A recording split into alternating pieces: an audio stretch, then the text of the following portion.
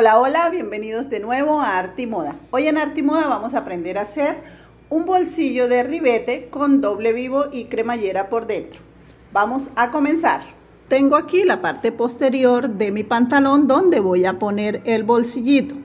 En uno de los lados vamos a hacer dos piqueticos para ubicar mi bolsillo de vivo o de ribete. La medida de este bolsillo puede ser 15 centímetros de largo y van a cortar una pieza de tela para el bolsillo de 18 de ancho por 25 de largo. También el largo va de acuerdo a la profundidad que ustedes le quieran dar al bolsillo. Vamos a comenzar poniéndola por debajo, juntando el derecho con derecho. Miren, derecho de la pieza con el derecho de la tela. Y vamos a coser por todo el piquetico. Vamos a centrar la tela que me quede bien distribuida hacia los lados, que no me vaya a quedar todo hacia un lado porque después voy a bregar.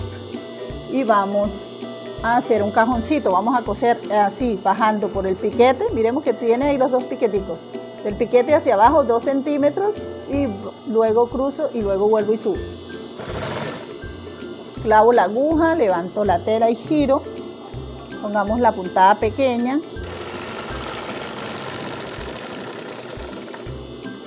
Clavamos la aguja, volvemos y giramos. Y listo y él me debe quedar un cajoncito como este.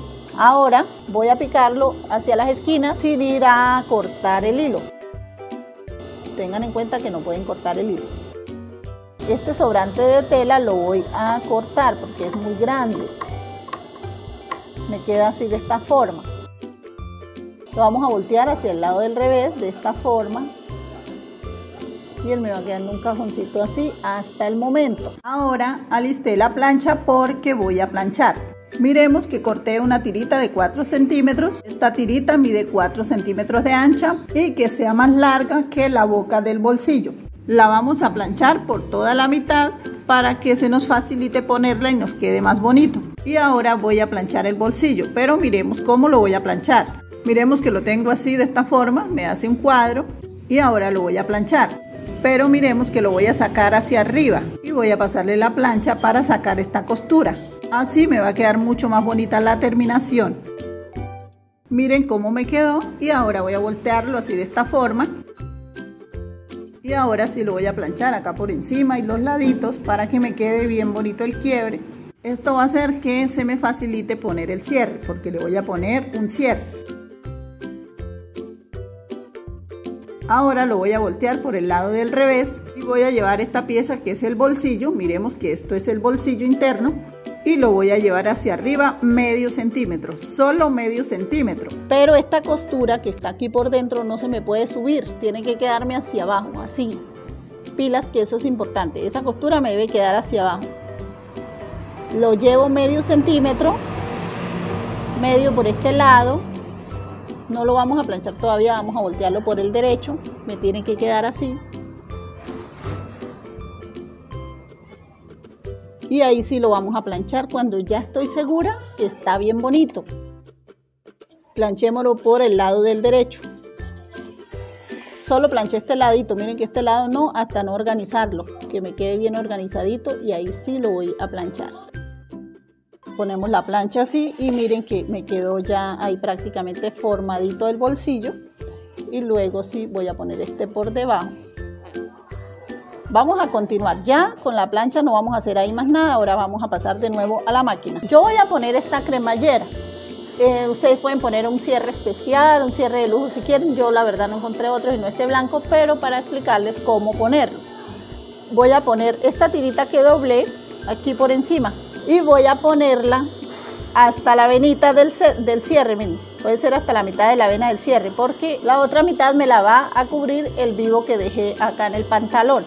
Entonces voy a empezar a ponerla, vamos a pasarle una costurita, se la pasan derechita, que esto les quede derecho. Si quieren pueden pasar una línea, pero aquí lo ideal es que ustedes lo lleven derechito por toda la mitad de la vena del cierre. Y que no les vaya a quedar pelado por debajo. Tampoco vayan a dejar estirar la tela porque entonces se le van a hacer ondas. Y listo, miren cómo me quedó. Miremos que el cierre es bien largo. Yo voy a dejar esta parte de la cabeza que me quede ahí, miren. ella tiende a salirse un poquito y vamos a asegurarlo con alfileres para que ustedes vean. Vamos a poner un alfiler en este lado. Vamos a poner otro alfiler. Ustedes aquí ven que esta, este vivo de arriba está quedando más grande, pero es que ahorita cuando yo vaya cerrando el pantalón, él me va a coger así y me debe quedar igual. Lo vamos a asegurar también por acá en este punto. Y ahí miremos que ya estamos formando el, el bolsillo. Vamos a empezar en este lado. Pueden correr el cierre un poquito hacia allá la cabeza para que los deje coser.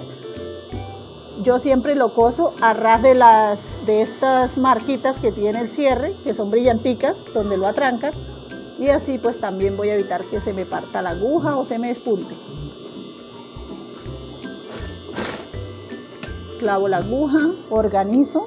Es importante que organice el cierre, que no me vaya a quedar corrido como ahí lo abrí él tiende a correrse, entonces es importante que lo organice. Clavamos la aguja y volteamos. Cuando vamos a coser por debajo tenemos que asegurarnos de coser sobre el cierre, porque si no nos va a quedar roto. Entonces vamos a, a ir tocando con los dedos vamos a ir sacando un poquito del vivo que no se nos vaya a achicar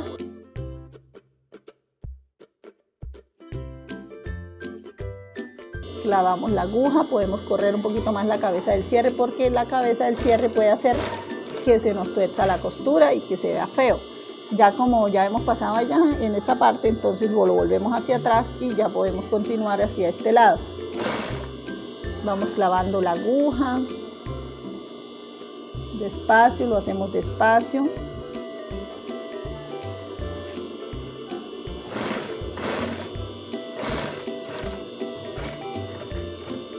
Clavamos la aguja, volteamos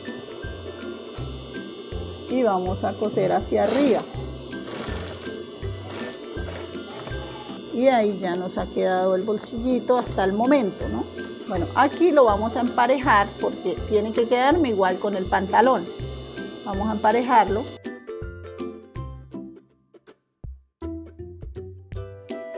Y miremos por este lado cómo me quedó así va quedando. Lo que voy a hacer es que voy a, cortar esta cola ya la puedo cortar. Me quedé así más cortico lo mismo por acá miremos cómo quedó. Miremos que lo cosí después de estos dientecitos que era lo que yo les decía que así no se nos va a partir la aguja ni nada. Y vamos a llevar esta parte del bolsillo lo que me quedó hacia abajo hacia la parte de arriba y lo vamos a coser acá por los lados y que me quede a ras de la pretina arriba miren para que ahorita cuando yo vaya a pegar la otra pieza de acá, pues ya me quede bien bonita ahí la terminación. Miremos cómo quedó ya fileteado, así me debe de quedar el bolsillo, ya listo para poner aquí en la parte de arriba el canesú. Este cierrecito acostumbran ponerle una pitica, una colita de ratón, las, las, las empresas de marca tienen ahí sus propios, eh, sus propios cordoncitos y lo pueden poner así de esta manera. Miren, yo lo, lo quemé, lo metí por el huequito que tiene el cierre en la punta Luego lo vuelvo y lo meto otra vez por el mismo huequito. Esto es para facilitar eh, que la persona encuentre el cierre y lo pueda jalar rápido. Listo, lo tenemos así y luego cogemos las dos puntas y lo metemos otra vez por acá. Y van a hacer un nudo así de esta forma. Y listo. Lo pueden cortar más, no lo tienen que dejar así de largo lo pueden cortar, le queman las puntas y listo.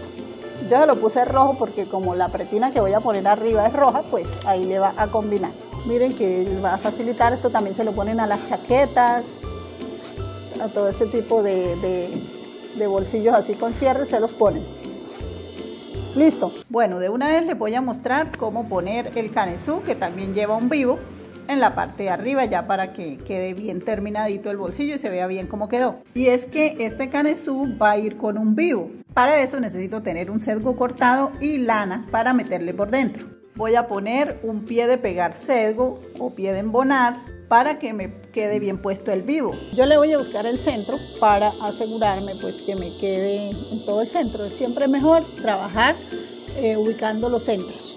Vamos a envolver la lana en el sesgo y vamos a iniciar acá en esta punta. Juntamos las tres piezas lo hacen despacio si ven que no pueden hacerlo directamente pues lo pueden pegar primero luego pegan la otra pieza. Ustedes miran que se les facilita más. Lo presionamos así que no se nos vaya a correr que no nos vaya a quedar embolsado. Despacio clavamos la aguja siempre con la aguja abajo volvemos a organizar y miremos que ahí me da perfecto el piquete. Bueno aquí como ya llegué al cierre voy a echar la cabecita hacia atrás porque me va a trancar ahí no me va a dejar pasar. Y miremos que voy a ubicar mi, mi sesgo a un centímetro. Así normal a un centímetro y vamos a coser. Para que ahí me quede ya los vivos me queden igualitos despacio nada de dejar estirar la tela. Clavo la aguja y voy a correr ahora la cabecita hacia adelante para que ya me deje pasar en este lado de acá. Si ustedes dejan la cabecita ahí se les va a torcer porque ella hace que el pie se mueva hacia un lado. Entonces es importante que la estén moviendo hacia adelante y hacia atrás. Y miremos cómo me quedó. Miren cómo me quedó el bolsillo así me tiene que quedar si ven que ya se ve parejo el sesgo lo podemos abrir, lo podemos cerrar y ahora lo vamos a llevar a la máquina fileteadora para luego pisarlo. Cuando lo vayan a filetear, fileteen con el derecho por este lado, porque cuál pieza vamos a pisar está encima. Entonces, para que el filete nos quede al derecho, vamos a ponerlo por este lado, o sea, esta pieza por encima, así de esta manera. Luego de filetearlo, lo pueden pisar por todo el orillito y ya habremos finalizado. Bueno, así ha quedado nuestro tutorial de hoy. Espero que les haya gustado, que lo pongan en práctica y compartan esta información. Nos vemos en una próxima. Chao, chao.